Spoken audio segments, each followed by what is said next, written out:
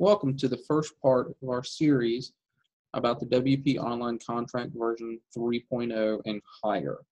Uh, we've had a few requests to uh, upgrade our video or update our video to the upgraded version, so this is that. But I figured it would be easier to split it up into sections, um, and you can view the other sections at the bottom uh, in the description of this window or this video.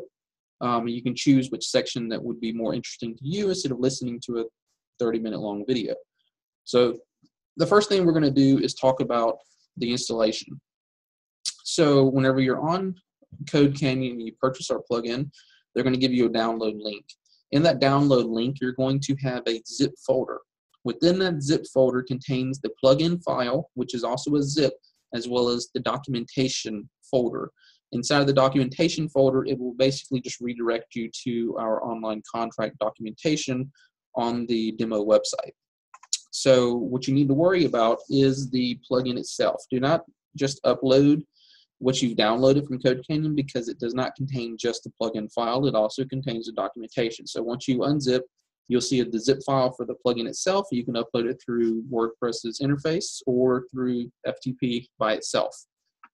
Uh, the next thing we're going to talk about is whenever you get it all installed and you want to, uh, you know, whenever you log into it, you'll see a variety of options here. Um, I'll just go ahead and minimize the stuff that's of no importance to this video. And you'll see and in your dashboard you now have an online contract summary and in the at the at a glance window you see that you have uh, where your contracts are as well as a your contracts window this window will be used for your clients that have the ability to log in to the back end of your website. Anything that's tied into their email address associated with their account will appear here. It'll have links to it so they can view the contracts that they've already signed or sign contracts that they have not signed. Uh, for the administrators, you will see this section so you can see all the contracts that was created regardless of the user, as well as in, at the at a glance window, you'll see that you have you know two online contracts. So you can click here and actually open up the contract window. So the first thing that we're going to talk about is settings within your contracts. Uh, so that's a sub-navigation link on inside of the administrator where you would add your settings information. So first, um, we used to offer uh, the plugin directly downloaded from our website. We no longer do, so this is going to be your default option is Code Canyon. Your purchase code can be found in Code Canyon inside of your downloads folder. They usually give you a variety of links that you can download. The one that you need to be looking for is the documentation included. So that way, whenever you download it, it'll also give you the, the, the key code that you need. Um, next would be your company name administrative email, which is the email address that gets all the notifications. So whenever someone signs a contract or initiates a contract, you will receive this uh, an email at this location. Next is your currency symbol, currency type, pretty self-explanatory. The date format, another one's pretty self-explanatory, but if you don't understand date formats, um, the way PHP uses them, you can actually click on this link here and it'll bring you out to a PHP page and kind of give you a list of all the date formats. Um, the next one would be your shortcode for client email. Whenever you first install it, this will not have any options because you haven't set up your shortcodes yet.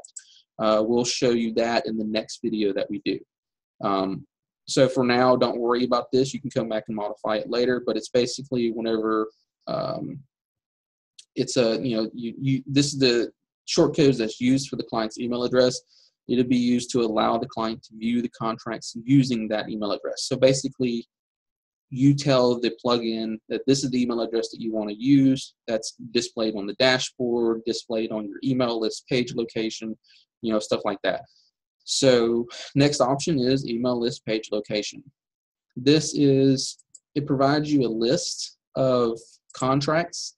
So whether you're using an email address like it is down here or the the client is actually logged into your website whenever they go to the website uh, whatever page that you assign there, they'll see a list of contracts that's associated with their email address. Currently in the demo, we do not have any email addresses that are associated with any of our users, so it says that you do not have any contracts.